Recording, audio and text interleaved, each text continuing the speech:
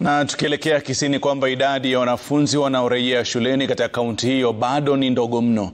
Wanafunzi wengi hawako madarasani na pia katika vituo vya magari ya uchukuzi.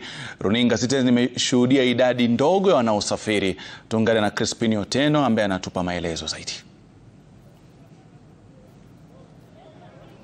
Uh, na Rashid, eh, eh, nipo katika steni kuu ya kuabiri magari katikati mwa mji wa Kisii ambapo uh, wanafunzi ambao wanaelekea katika shule mbalimbali mbali, wamefika uh, katika kituo hiki, japo idadi ya wanafunzi hao ni ndogo zaidi ikilinganishwa na jinsi hali huwa kawaida, na unavyotizama hapa uh, kuna baadhi ya wazazi ambao wamefika hapa. Nataka tu kuzungumza nao waweze kutuelezea tu labda siku hii ya leo uh, wanafunzi je, uh, wanarudi, uh, wanarudi katika shule zao mbalimbali za upili ama hali ikoje? Eh, wanafunzi kwa machina ni Saplon, mfanyibiashara na ni msazi Wanafunzi wanaendelea kurudi shule, lakini kwa idadi iliyo iliyo chini sana.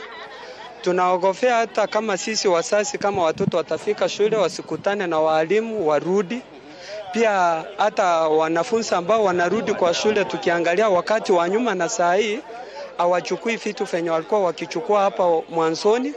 Ndio maana ukiangalia hata huku Kisii Rebatech Computer Stationaries inalia sababu.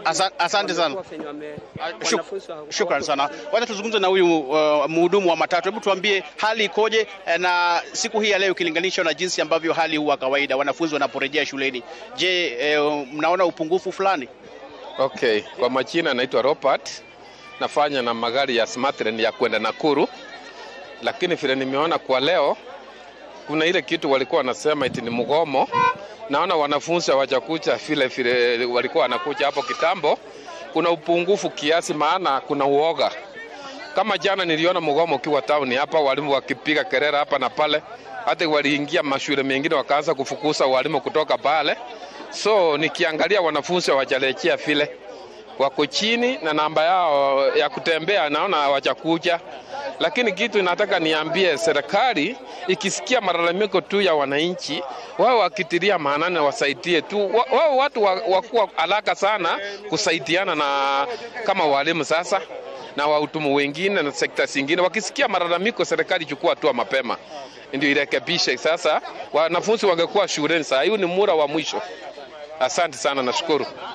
Naam, uh, kama, uh, kama njia mojawapo ya kuonyesha uh, uh, Rashid, jinsi hali ilivyo unavyotizama hapa uh, hapa ndipo baadhi ya wanafunzi ambao wanaelekea katika shule mbalimbali kaunti uh, hii wana uh, wamefika hapa uh, wakitarajia kuelekea maeneo mbalimbali eh, humu nchini kuanza masomo yao ya muhula uh, wa tatu. Hapa ndipo huwa wanafika mara nyingi kwa kawaida, lakini idadi huwa ni juu uh, wakati wanafunzi wanafungua shule zao uh, lakini ndivyo hali ilivyo katika uh, steni hii kuu ya kuabiri magari katikati mwa mji wa Kisii. Tukitoka hapa tutakuwa tukielekea uh, katika shule mbalimbali mbali, ili tuweze kuona taswira jinsi hali ilivyo, kwa sababu tunafahamishwa kwamba uh, kuna wale walimu wa KUPPET ama uh, viongozi wa walimu wa KUPPET katika kaunti hii wamekuwa wakizunguka pia katika shule mbalimbali kuona tu iwapo kama kuna wenzao ambao wako shuleni na iwapo watawapata uh, basi